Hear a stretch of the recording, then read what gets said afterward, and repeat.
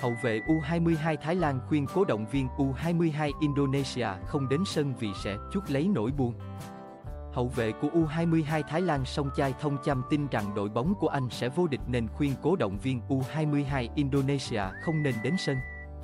Cuộc đối đầu giữa U22 Thái Lan và U22 Indonesia sẽ có ý nghĩa quyết định đến nhà vô địch mới của môn bóng đá Nam SEA Games 2023 sau khi U22 Việt Nam dừng bước ở bán kết. Với U22 Indonesia, đội bóng này rất khát khao huy chương vàng bởi họ đã không thể giành lấy 32 năm qua. Trong lúc đó, U22 Thái Lan là đội giàu thành tích nhất. Theo đó, đội bóng này đã 7 lần giành huy chương vàng kể từ năm 2001 đến nay.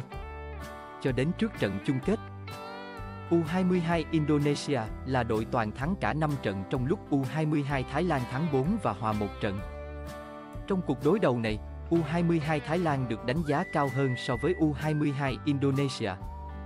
Đội bóng xứ Chùa Vàng tỏ ra rất tự tin trước trận chung kết này. Đây sẽ là trận đấu cuối cùng.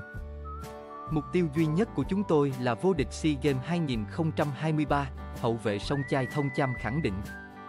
Cầu thủ trụ cột của U22 Thái Lan cho rằng đội bóng của anh sẽ giành huy chương vàng nên khuyên cố động viên U22 Indonesia không nên đến sân bởi sẽ chuốc lấy nỗi buồn. Vì lý do này, U22 Thái Lan sẽ giành huy chương vàng. Tôi đã yêu cầu các cổ động viên U22 Indonesia không đến sân vì sẽ chuốc lấy nỗi buồn. Nhưng với những người ủng hộ U22 Thái Lan, hãy đoàn kết lại với nhau. Chúng tôi sẽ thi đấu với 100% sức lực để các bạn giành huy chương vàng, song chai thông cham nói.